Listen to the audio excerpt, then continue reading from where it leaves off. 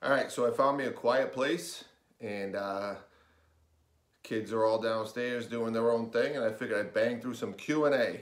Uh, I said I'd try my best to get to it, so as your questions roll in, whether a message, online, whatever, I'll try to sort through them as long as they're not too fucking stupid and we can actually get to it.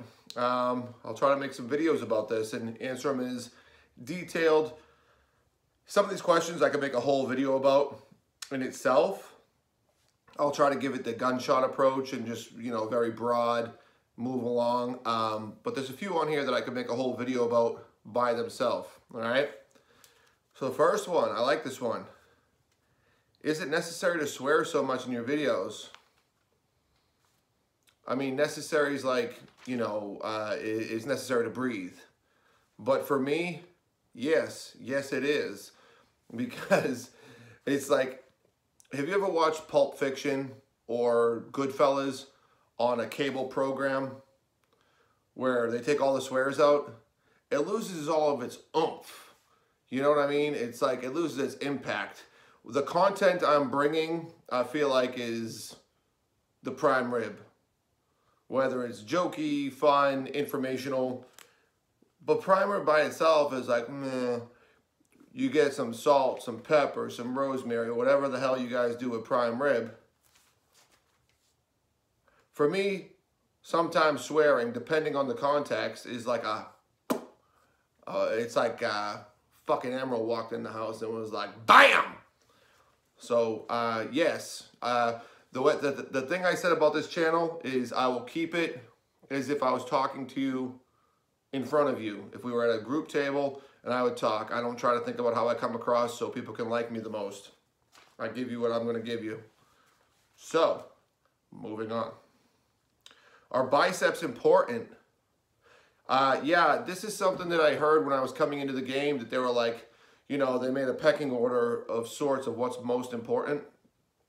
And 16, almost 17 years later in the sport, I've come to realize that pecking order is they're all reliant on each other. So of course they're like a hand, a wrist, and so grows the tree. But I think all of those are bullshit without each other because when you get to the elite level, if you have a glaring weakness or any weakness, it will be exposed. Um, and when you think about an arm wrestling match, right? The end of the day, whether it's by leverage of like bending your wrist back, climbing out on your fingers, uh, putting you know the right leverages down on your wrist to leverage your bicep, you do end up getting pinned to some degree by your bicep angle being opened. And in my theory, if you had an infinitely strong bicep, you couldn't be pinned, even if your hands was garbage. Because um, think about it, a few years ago, the guy who was world recognized as the best in the world just so happened to be the strict curl world champion. Food for thought. He wasn't doing anything particularly great. I mean, he had a great wrist and a good hand, but he would just go, and people couldn't budge him past there. So it's food for thought. And as a guy, even when I went through my shoulder issues and my side pressure was down to zero, I still had a hand, I still had a wrist, but I had to fall back on my bicep a lot to let people fade to, to protect myself. Now, of course, there were guys that were super, super elite that falling to a defense, uh, defensive position wasn't as good. But do I think it's necessary? Oh, fuck yeah. When I'm on my game, if my bicep is stronger, I am much more dangerous. You cannot be pinned if your bicep gets strong enough. And I, I've taken all the bad positions, all the grips, let people hammer away on me, and simply because they couldn't break through my arm barrier, I won a match. So yeah, I think it's very important considering that that's the thing holding that joint from opening up to a pin. I could go on to bicep training, but I think that'll be a separate video. Uh, so we'll stay tuned for that one. Best matches in arm wrestling today. Uh, I like this one because I'm going to go uh, away from the norm of what everyone thinks should happen. Of course, we have Levan and Michael. this is one of those things, right, where you find yourselves, do I be politically correct or do I say what I'm thinking? And keeping it true, I don't know why, but that match doesn't do it for me. I think Levan's got a flatness to him. And I think stylistically, the match doesn't excite me. And the tear with the leagues and all the garbage around it, um, for me, it just doesn't excite me. Um, there's so much contrast there and how they are as pullers and how they are as people. And I mean, they couldn't be more different. I mean, uh, I, I, I wouldn't know how to make it more different. And I don't know, it just doesn't tickle my fancy. Like, I don't feel peaked on that. And I, I you know, hey, I'm sorry if this puts a negative uh, light on you guys getting a big payday to pull that match, but it doesn't excite me. Um, I think there's so many good athletes out there. Um, I would like to see I remember in, uh, I think it was uh, Zloty, Marcio, and Ongarbaev had a great center table match that I believe one of them, I think Marcio fouled out at. I'd like to see that. Um, I think one that really has to be answered, not just because it's my channel. I think being the dominant guy in North America for years and Todd having his run, I do think that a premier match on any stage in any arena would be me and Todd Hutchings. Um, I think anything that uh, John Brzenk would do if he came out of retirement, as well as um, let's see. I think I think I think a Devon uh, and Travis left-handed redo. Uh, I don't know where Devon's left hand is. I don't know where he is, but considering their time frames of having such like that Devin that showed up to pull Wagner Ooh, I like that. Uh, and, and, there's probably many more, uh, but I'm not sticking with the cliche of immediately. Now that match might be a top five, top 10 match. But if you ask me to make my favorite, my top three, it's not quite there for the reasons of just how I explained it, okay? All right, uh, okay, so this is touching on my, my leg. Aren't you worried your legs are weak besides the aesthetic? No, not at all. Um, and that's why I don't really work them, is because my job was to carry heavy shit all day. I've actually had guys who prided themselves on being leg specialists come work with me, and they couldn't handle carrying their own fucking body weight up a ladder all day, never mind the shit that I needed them to carry. So, on top of that, um, when I was living in Vegas, I was lined up to go to an NFL combine, and my 40 yard dash time and my vertical jumps were at like the very, very top of the NFL combine. So, yes, uh, to look at them, they're skinny, but the power output and uh, health of them, you know, hey, genetics. It, it's the same thing that gives me big hands and forearms is the same thing that gave me skinny legs, but they they perform better than you'd expect. And uh, no, I'm not. I'm not the point where I'm chasing aesthetics. Uh, you got to be master of one craft, right? You can't be strong, world's best arm wrestler, fitness model, fucking. Oh, listen, I'm lucky if I can get one right. So fuck legs, but they're strong. They can they can move. I can move. Was the chicken choking a, a true story? Yeah, yeah. Dude, my dad is a fucking animal. He's uh, a funny ass dude and he's got a lot of really colorful stories. And you gotta understand, he grew up in a time of uh, the 60s and he was uh, 70s and you know 80s. I don't know when he slowed his roll. He never did. He's still on a roll. Um, but he was a mixture of wild but very likable, and that included the uh, police and everyone in the area. So there were never any hard repercussions came his way. But uh, truth be told, the Chicken Choker stories a very PG version of a lot of his stories, and I could I could just sit down and write like a a, a novel series of things I've seen, witnessed, done with that man, and it's it's all true. And he was that strong where he snapped a Jack Daniels bottle and he was that crazy to actually go to a stranger's farm attempt to buy their prized breeder just so he could kill it. uh, can't pick your family, I guess, right? Uh, why do you rage? Well, I can tell you, um, I do. I rage because I think in years past, for different reasons, there's a, a level of self doubt, and the darkest voice in my head. It's not all the naysayers. It's not all the people saying, uh, you know, that I can't.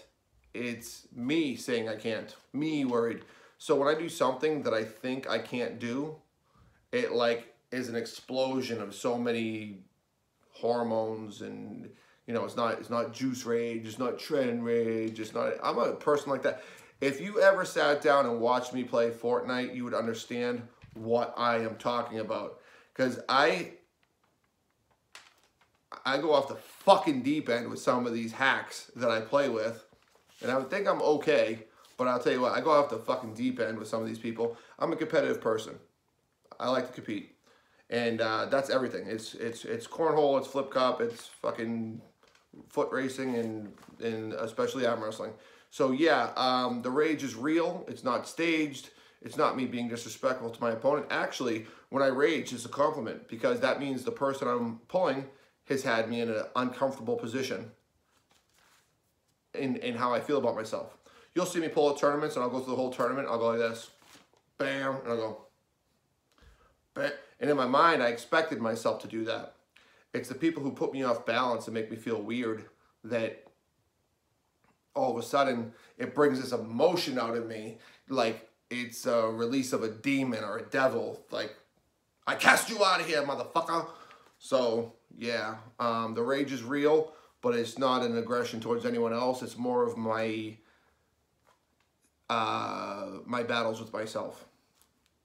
All right highest gripper level I've ever closed. Um, I got some Gillingham grippers here that I got years back that I think some of them are really high and really hard. I'd have to look at the numbers. I don't want to say something false, but I remember I closed a big one. Um, I've done a four on more than one occasion. And the Mash Monster, when you see me on the Mash Monster list, I did, um, so I did a COC 4 and I did on the Mash Monster list, I did a three, but at the time I stopped there. I didn't fail at any other grippers. At the time, they weren't making any. And that's right around the time I started drifting into arm wrestling. I fell in love with arm wrestling. So I actually never tried a gripper level higher than the three. I never, I never sought it. It took too long, and uh, I had moved on by then. But um, that level can be misleading because you'll see people that are doing like a seven, an eight, a nine. I don't even know how high it goes. I haven't checked. But at the time, nobody else did the three for a long time. So when I did it, I kind of just said, well, I guess I'm the mash monster. Call it a day, get to arm wrestling, go do my thing. And uh, yeah, I moved on, but I've done, I, would have to check the Gillingham gripper. It was a big one, and I've done a four. So certified on none of them. And you know what? If you're young, and you're watching this video, record your shit if you can do cool shit because you think you're going to be able to do it forever. And it's not always the case. For me, my hand is stronger in an arm wrestling way. Like I can grab people in an arm wrestling way stronger, but I can't do some of the other things I used to do from the grip world because my hand strength, direction, and focus has changed. So I don't fuck around with things that are non-conducive. So you think that uh, you're gonna have it forever record your shit, which is part of this whole um, why I kicked off this YouTube. It's it's almost like an online diary. You never know. Life is crazy how it works out. So record your shit. Uh, is your anxiety still an issue? Ooh, yeah. Um, yeah, it's not like it was. I, I had a big battle with anxiety that really crippled me for uh, a lot of years. And it, it, made decisions on where I flew, what I did, how I did it, and the biggest monkey I ever had to fight was that one. And that's something that I think is one of the ones that I'll delve deeper into. I mean, I've done everything from I got a story about how I almost crashed a plane on the way into Vegas at Arm.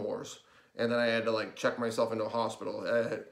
If anyone's had severe anxiety or panic attacks, I tell you what, that's right up there with any kind of fucked up trip you could think about being on in the in the drug world because if you've got a strong mind that that can work for you, it can work against you, and uh, that's one I like to touch on uh, deeper.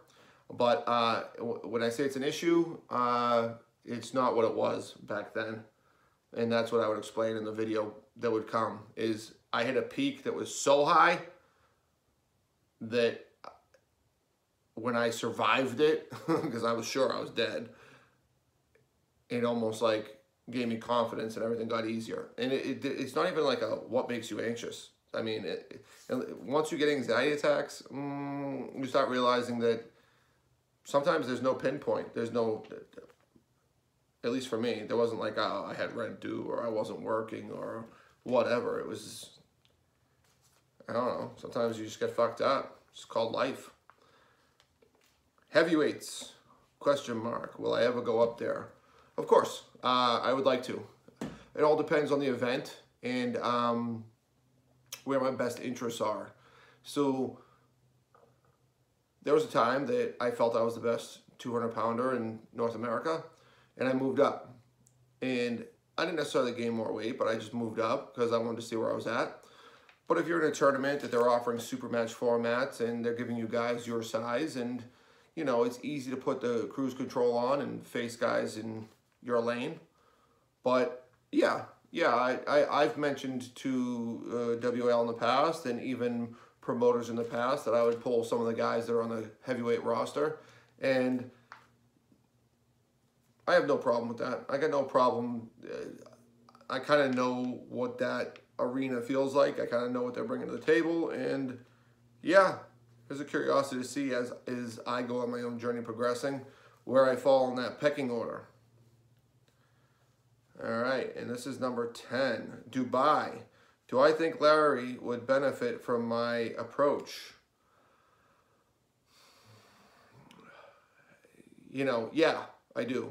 Um, I see he's not able to access a lot of his power, and, and until I would ever grab him, I don't know what his wrist feels like or his hand is capable of. I do see, when I talk about the hand control video, I do see that um, the gauge he has there is a guy who's very hand heavy and uh, top arm heavy in Khaled. So Larry can never feel like he's progressing. And